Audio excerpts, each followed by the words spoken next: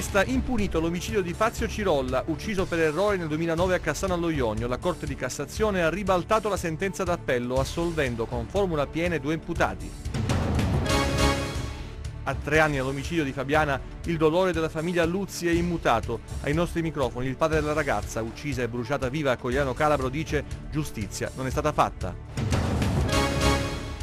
Più di 3.000 tonnellate di rifiuti pericolosi sarebbero state smaltite a Bisignano. Il caso diventa politico nel Cosentino. Intanto alla Mezzia Terme la Ecosystem, azienda coinvolta nell'inchiesta Tempa Rossa, si difende e dice nessuna violazione di legge. La Calabria sbeffeggiata sui social per un dépliant che la giornalista Selvaggia Lucarelli ha definito opera di peracottari. Il presidente Oliverio le dà ragione e se la prende con la burocrazia sciatta. Il Codacons denuncia il fatto alla magistratura contabile. I sindaci della Locride in piazza chiedono al governo di rispettare gli impegni assunti con il territorio e annunciano una manifestazione di protesta a Roma. Comitato contro il silenzio, l'immobilismo e la trasversale delle serre, l'opera incompiuta da 50 anni. Grande successo al Garden di Rende per la performance di Carlo Bucirosso, sold out per lo spettacolo. Buonasera dal TG10, dunque assolti con formula piena dalla Cassazione i due imputati accusati dell'omicidio di Fazio Cirolla, l'operaio ucciso per errore da Cassano Ionio nel 2009, un delitto che rimane dunque senza colpevoli. Sentiamo. Un omicidio senza colpevoli. Il delitto di Fazio Cirolla, assassinato per errore a Cassano allo Ionio sette anni fa, rimane impunito. La Cassazione infatti ha assolto con formula piena i due imputati, Argentino Pesce e Saverio Lento, già condannati dalla Corte d'Appello di Catanzaro a 30 anni di reclusione. Era il 27 luglio del 2009 quando in questo autosolone venne freddato con alcuni colpi di pistola alla testa Fazio Cirolla, operaio incensurato che quel giorno si trovò nel posto sbagliato al momento sbagliato ad assistere alla scena il figlioletto di appena sette anni. Cirolla fu ammazzato per sbaglio, come hanno accertato le indagini coordinate sin dal primo momento dal procuratore aggiunto Vincenzo Luberto. L'uomo fu scambiato per un altro e i killer lo uccisero sparandogli a bruciapelo tre colpi di pistola alla fronte. Il vero obiettivo era il titolare della concessionaria Salvatore Lione, ritenuto dagli inquirenti il contabile della Cosca Fora Stefano. Quel giorno riuscì a saltare da una finestra sfuggendo ai sicari. Quello di Fazio Cirolla fu un omicidio efferato che suscitò sdegno e commozione. Il PG della Suprema Corte aveva chiesto la conferma della condanna a 30 anni per i due imputati, ma dopo le arringhe delle parti civili e della difesa, la Corte di Cassazione ha emesso la sentenza di assoluzione. A tre anni dall'omicidio di Fabiana Luzzi il dolore della famiglia resta immutato. Al microfono del nostro direttore Attilio Sabato il padre della ragazza uccisa e bruciata viva Corigliano Calabro dice giustizia non è stata fatta. Sentiamo. Il tempo può lenire il dolore? Il tempo non lenisce nulla, il tempo distrugge, il tempo massacra, il tempo distrugge completamente le famiglie, le vittime eterne che rimaniamo su questa terra per noi maledetta ripercorre i frame di quei giorni terribili ogni tanto? Eh, si ripercorrono tutti i giorni, non c'è momento che non si rivive la situazione, principalmente nell'immaginazione di come ci ha ridotto nostra figlia. Una ragazza splendida, bellissima, gioiosa, intraprendente, ballerina, che amava la vita, amava la sua famiglia, amava gli amici, amava vivere. Cosa gli rimane di Fabiana? Fabiano mi rimane tutto, i suoi 16 anni, mi rimane dal momento che l'abbiamo concepita a quanto il 24 maggio purtroppo un mostro ha deciso solo di portarcela via. C'è qualche rimorso che si porta dietro? Eh, rimorsi per quello che noi abbiamo sempre fatto, tenendo sempre unita la nostra famiglia, accompagnando ovunque le nostre figlie, in ogni momento, a danza, a scuola, a mangiarsi la pizza. Non l'abbiamo mai a uscire insieme, eh, sul lungomare di Schiavoneo o altrove, dovunque siamo stati, sempre ed unicamente insieme. E quindi pensavamo di proteggerla, però lui ce l'è andato a rubare, a sequestrare e a distruggere. Colui, l'assassino. Lui l'assassino. Ha distrutto la vita di Fabiana, l'esistenza di Fabiana, un mondo intero che ogni figlia e ogni figlio per un genitore rappresenta. I giorni sì. sono tutti uguali per lei. Sono sempre peggiori perché mentre passa il tempo realizzi che purtroppo quella stanza rimane sempre vuota, quel piatto rimane sempre eh, senza sporcarsi, proprio ieri lo dicevamo con, con mia moglie, perché noi tutti i giorni apparecchiamo anche per Fabiano. E la giustizia? La giustizia, come lei me lo dovrebbe insegnare, almeno per noi non è esistita e non esiste. Se avesse la possibilità di parlargli un attimo, cosa gli direbbe? Ma non c'è il pensiero di parlare cosa dire, c'è soltanto il pensiero di agire. Che cosa è per lei la speranza oggi? Ma noi come vittime non, non nutriamo speranze né nella giustizia né nello Stato perché avete visto tutti come siamo stati trattati e né in un domani perché non lo sappiamo domani cosa ci può succedere.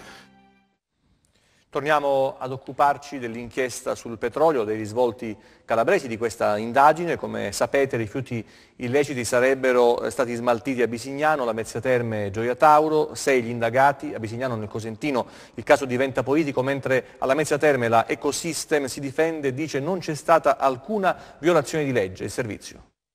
Sarebbero 3.200 le tonnellate di rifiuti illeciti smaltiti in questo impianto a Bisignano in provincia di Cosenza e quanto emergerebbe dall'inchiesta Tempa Rossa della Procura di Potenza. In due anni, nel 2013 e nel 2014, scarti pericolosi sarebbero arrivati nel territorio Bruzio. Veleni finiti dove? Il caso diventa politico ed è il Comune ad esprimere preoccupazione e puntare l'indice contro l'opposizione che ha perorato, scrivono, la causa della Consuleco, difeso i posti di lavoro incuranti dell'ambiente e del territorio. Alla minoranza l'esecutivo chiede oggi una presa di posizione chiara alla Mezzia Terme l'azienda Ecosystem, coinvolta nella stessa vicenda del presunto smaltimento di rifiuti pericolosi provenienti dal centro Oli di Viggiano, a volere chiarire la propria posizione. Per quanto ci riguarda, spiega l'amministratore delegato Salvatore Mazzotta, che è un avvocato, non c'è stata alcuna violazione di legge o smaltimento illecito e precisa che il codice al rifiuto lo attribuisce per legge il produttore e la pericolosità del rifiuto viene stabilita dalle analisi chimiche di caratterizzazione dello stesso effettuato dai laboratori su commissione del produttore. L'Ecosystem, precisa Mazzotta, è appaltatore e produttore. Infine l'amministratore delegato conferma la disponibilità dell'azienda a collaborare con la magistratura. Intanto i carabinieri del NOE continuano le indagini in Basilicata, stanno acquisendo le cartelle cliniche per verificare l'incidenza dei tumori. Si procederà così anche a Bisignano, la Mezzia Terme Gioia Tauro. Vedremo nei prossimi giorni dagli sviluppi dell'inchiesta nella quale risulterebbero indagate sei persone in Calabria. Voto zero alla comunicazione regionale della Calabria dalla parte della giornalista Selvaggia Lucarelli, giudice di Parlando con le Stelle e blogger, una brochure che pubblicizza il territorio calabrese, il turismo calabrese, presenta errori grossolani e scelte, immagini di dubbio eh, gusto. Naturalmente scoppia il caso politico e virtuale. Sentiamo. Questo è l'Arco Magno di San Nicolarcella, uno dei luoghi più suggestivi della nostra regione. Queste foto sono soltanto alcune delle tante che si possono trovare sul web e restituiscono un'immagine realistica e accattivante della spiaggetta, che trasmette all'osservatore sensazioni positive e magari fa venire voglia di immergersi nel mare cristallino circondato da rocce. Saranno questi i motivi che hanno convinto i dirigenti del settore turismo della regione Calabria, o chi per loro, a puntare anche su questo luogo per pubblicizzare l'immagine e le bellezze naturali del nostro territorio su una brochure distribuita a bordo della flotta Ryanair. Peccato che chi ha realizzato questo lavoro ha utilizzato immagini molto meno edificanti, notate dalla blogger Selvaggia Lucarelli, che in un post su Facebook evidenzia le brutture della campagna pubblicitaria finanziata da fondi europei, che si è già trasformata in un boomerang comunicativo foto che in effetti non sono proprio all'altezza della bellezza dei luoghi dal punto di vista qualitativo e sporcate, per così dire, dall'inopportuna e invasiva, almeno in relazione allo scopo dell'attività promozionale, presenza di bagnanti, uno addirittura con il costume indossato a fatica che non copre totalmente le natiche e accessori da mare abbandonati sulle caratteristiche rocce. Una caduta di stile che ha scatenato la polemica social e politica, le scelte discutibili e gli errori grossolani presenti nelle diciture, come quella R di troppo, appesa alla parola aeroportuale, hanno provocato l'intervento del Codacons, che ha deciso di denunciare alla magistratura contabile la campagna pubblicitaria, chiedendo la verifica delle responsabilità e dei costi affrontati per la realizzazione della pessima, secondo l'associazione, attività promozionale. E la regione? Il presidente Oliverio si è schierato con la blogger. Il governatore ringrazia Lucarelli per la segnalazione di una vicenda senza giustificazioni. Definisce la brochure una porcheria, frutto della burocrazia sciatta e indolente, e annuncia l'apertura di un'indagine conoscitiva. La Calabria merita altro, conclude Oliverio, e non possiamo che essere d'accordo, ma intanto la brutta figura l'abbiamo fatta tutti noi, e non è la prima e non sarà l'ultima, perché di sciatti e indolenti, evidentemente, la burocrazia regionale è piena zeppa. Ci sono diverse reazioni anche politiche, Iole Santelli, deputata e coordinatrice di Forza Italia, dice imbarazzo di eh, Oliverio sulla pubblicità eh, per la Calabria e poi... Eh, Morra di 5 Stelle, un fatto gravissimo, se la prende con i giornalisti della regione. Andiamo ancora avanti, presideranno per tre giorni Palazzo Chigi i sindaci della Locride per rivendicare attenzione nei confronti di un comprensorio abbandonato e afflitto da tante emergenze, iniziate da sanità. Decisione nel corso di una riunione che si è tenuta a Siderno in cui si è parlato anche del caso Minniti Platì, del Vescovo Oliva e della Presidente della Commissione parlamentare Rosi Bindi. Marisa Fallico, sentiamo. Eccoli qui, ancora una volta insieme, i sindaci della Locride riuniti a Siderno per assumere iniziative forti nei confronti del governo nazionale che, al di là delle promesse e degli impegni di circostanza, di fatto continua ad essere distante e disattento verso questo comprensorio. I primi cittadini che da tempo in questo angolo difficile della Calabria hanno deciso di fare rete per rivendicare i servizi essenziali, a cominciare dalla sanità indebolita, depotenziata, che quotidianamente lottano per dare risposte, garantire legalità e trasparenza, il 3, 4 e 5 maggio saranno a Roma per protestare davanti Palazzo Chigi.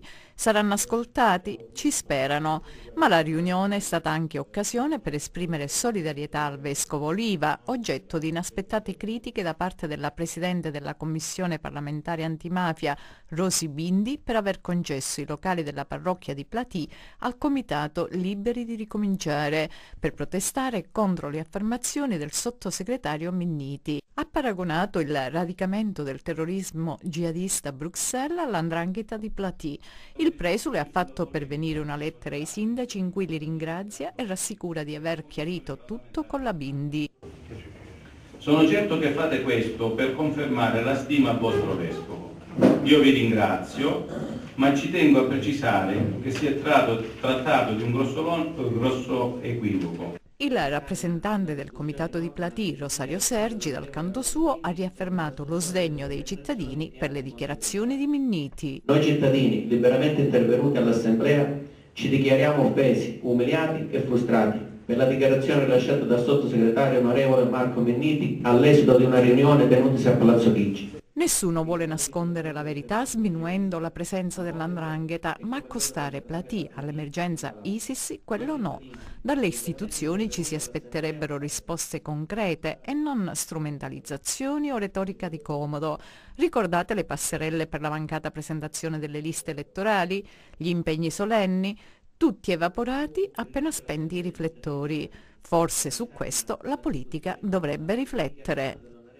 50 anni di attesa per la trasversale delle Serre, se ne continua a parlare, nasce un comitato contro il silenzio. Anna Franchino. Queste immagini sono state girate sette mesi fa e mostrano un'opera finita o quasi e mai entrata in funzione. È una delle tante contraddizioni tutte calabresi. Parliamo della strada statale 713, più conosciuta come trasversale delle Serre, progettata nel 1956, doveva collegare la sponda tirrenica nei pressi di Vibo Valencia con quella ionica di Soverato, attraversando il territorio delle Serre calabresi. Sui cantieri della superstrada si continua ancora a lavorare, ma di apertura al traffico non se ne parla minimamente. E allora è nato un comitato spontaneo, denominato Trasversale delle Serre 50 anni di sviluppo negato, che si è costituito contro il silenzio, l'immobilismo e i ritardi di quest'opera che stenta a vedere la luce. Attualmente sono pochissimi chilometri che sono stati messi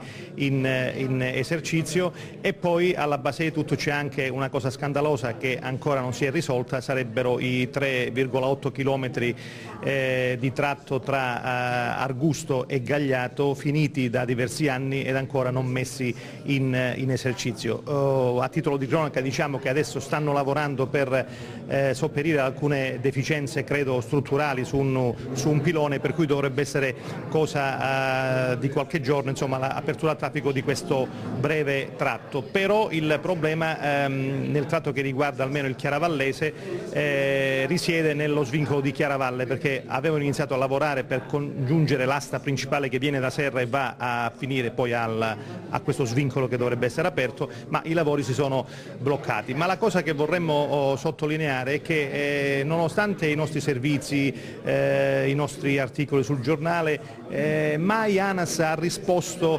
chiaramente come se all'opinione pubblica eh, non interessasse quello che sta succedendo. Ha soverato la conferenza stampa di presentazione del comitato, a cui hanno preso parte giornalisti e liberi cittadini per porre l'attenzione su una vicenda veramente paradossale.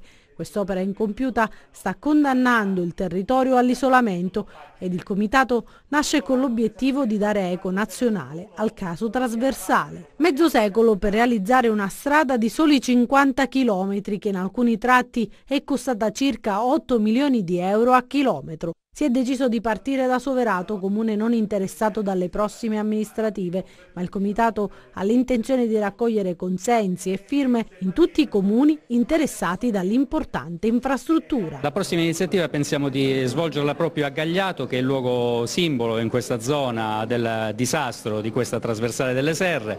Gagliato eh, è un territorio relativamente piccolo su cui insistono circa due chilometri di strada già pronti eh, per essere percorsi dai veicoli, eh, per oscure ragioni ancora questo tratto di strada non è stato aperto, non è stato inaugurato e eh, l'ennesimo scandalo che eh, fa il paio con la recente relazione dell'autorità anticorruzione nazionale Comitato per l'ordine e la sicurezza pubblica a Reggio Calabria, dopo gli ultimi inquietanti episodi di cronaca, il procuratore Cafiero De Rauro assicura l'attenzione resta alta. Convocata dal prefetto di Reggio Calabria Claudio San Martino si è svolta una riunione tecnica di coordinamento delle forze dell'ordine alla quale hanno preso parte la locale procuratore della Repubblica, il titolare della direzione di settore antimafia, il questore e i comandanti provinciali dei Carabinieri e della Guardia di Finanza. L'incontro è stato incentrato sull'aggiornamento dello studio della sicurezza pubblica della provincia e in particolare del capoluogo alla luce dei recenti eventi criminosi. Sono stati esaminati i contesti territoriali della città in cui sono avvenuti gli atti delittuosi e sui quali gli inquirenti stanno lavorando alacremente senza sosta. Sono state poi confermate e ulteriormente incrementate in maniera incisiva e articolata le azioni di vigilanza e controllo del territorio da parte delle forze dell'ordine, come ha sottolineato il procuratore della Repubblica presso il Tribunale di Reggio Calabria, Federico Cafiero De Lauro.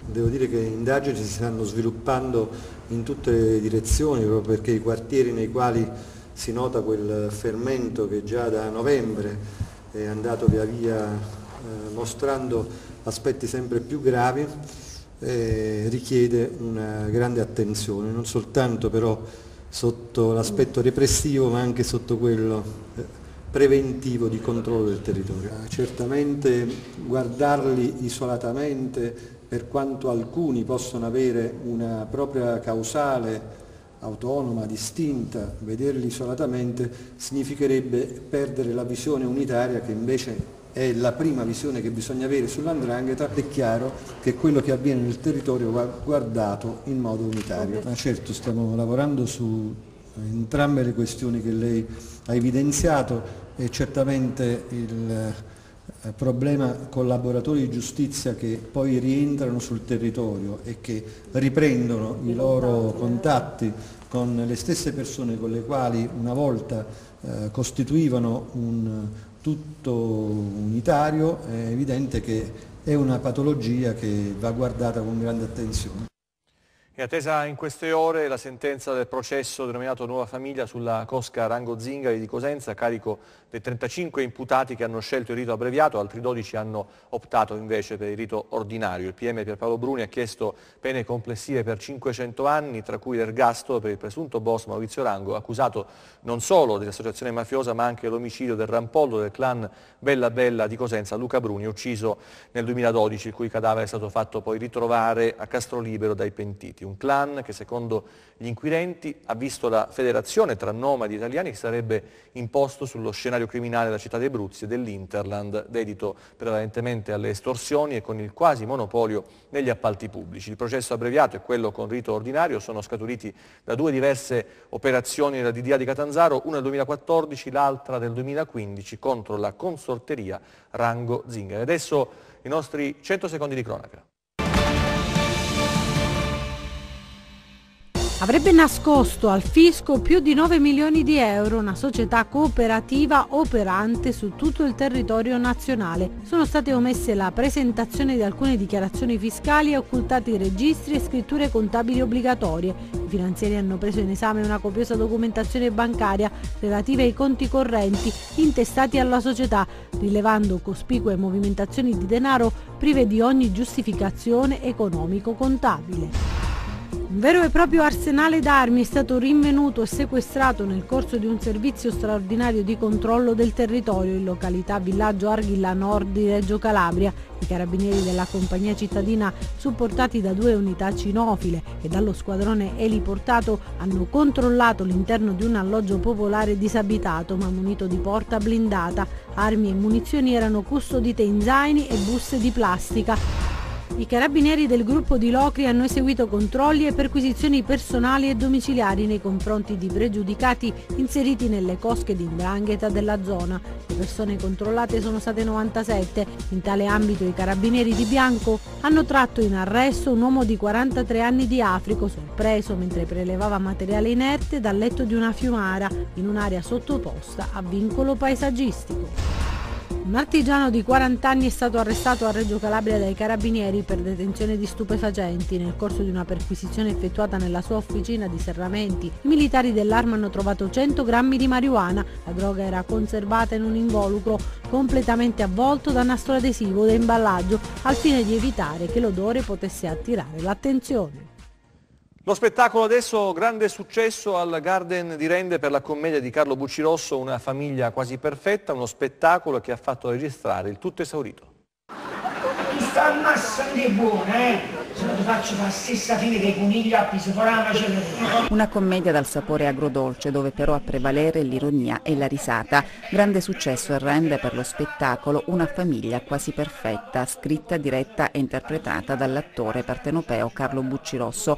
Studia, avendo sottoscritto in qualità di adottante 56 anni suonati, legge di nascita. 1960. Quindi molto di più dei 35 richieste dalla legge. Una serata che ha fatto registrare il tutto esaurito e la pièce non ha deluso le aspettative degli oltre 850 spettatori che hanno gremito il Cineteatro Garden. La storia prende, coinvolge e fa riflettere. Lui, Bucci Rosso, è un violento che ha scontato 24 anni di carcere per aver ucciso la moglie. Dopo aver lasciato le patrie galere, pretende, corrompendo un avvocato, gesto codardo ma esilarante che è il volto di uno strepitoso Gino Monteleone di riavere il figlio che fu adottato all'età di sei anni da una famiglia per bene. Lui, Troianello, non sa che il figlio naturale, interpretato da un bravissimo Davide Marotta, è affetto da un morbo che ne ha impedito la crescita. Straordinaria Rosalia Porcaro nei panni della mamma putativa che non teme le ire e le violenze del balordo. Ma se pensa che la mia donna sarà la mia dolce metà, ma finiscono poco.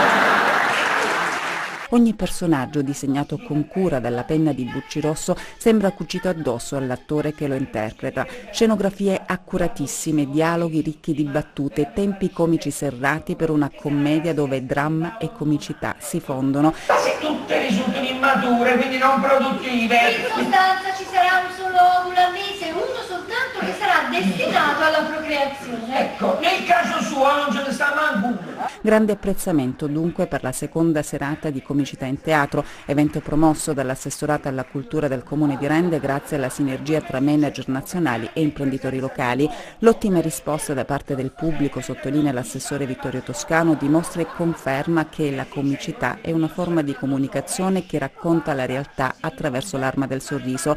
C'è voglia di ridere, pur continuando a riflettere e in un momento di crisi come quello che stiamo attraversando l'investimento migliore deve puntare sulla cultura. Se, se non ha capito, posso fare uno schizzetto. TG che finisce qui, l'informazione torna nelle prossime edizioni, grazie per l'attenzione, arrivederci e buona serata.